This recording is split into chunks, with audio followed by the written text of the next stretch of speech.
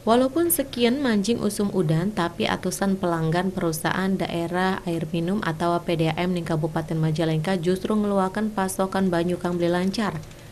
Singawi telung wulan pasokan banyu PDAM kanggo loro wilayah ning Kelurahan Munjul, Kecamatan Majalengka, Kota lan Desa Pasir Muncang, Kecamatan Panyingkiran, beli sesuai karo harapannya pelanggan. Pas esuk banyu arep digunakan warga kerane beli bisa ngeluarakan banyu. Walaupun metu banyune ikut cilik pisan. Warga kepaksa gunakan banyu kali Cijure lan banyu udan. Pas langka banyu bersih. PDAM Kabupaten Majalengka ngupai solusi karo nyalurakan pasokan banyu bersih gunakan tangki kapasitas 6000 liter kanggo kebutuhan sedina-dinane warga.